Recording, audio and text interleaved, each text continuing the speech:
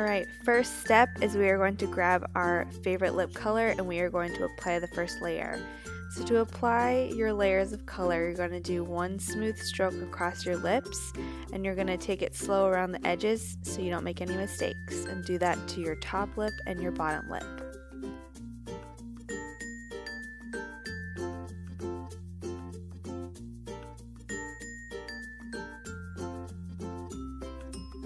In between layers, you're going to wait 5 seconds for the color to dry and then you're going to start again.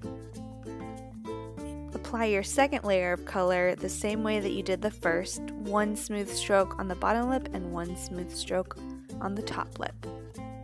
Continue this process until you have all three layers of color on. Don't forget to put color in your saliva line because this bonds right to your lip, you're not going to be able to smush your color around like traditional lipstick. If you made any mistakes while you're putting the color on, just grab your oops remover and clean it right up.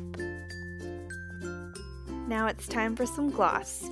You're just going to apply your gloss right over the color and this is going to bond to the lip, add hydration, and you're going to be able to finally smush your lips together and not feel sticky. Now you have long lasting color that isn't going to come off when you kiss, rub your lips, eat, or drink. Isn't that amazing? I hope you guys enjoyed this video on how to apply your LipSense. Go pick up a couple colors for yourself, why don't ya?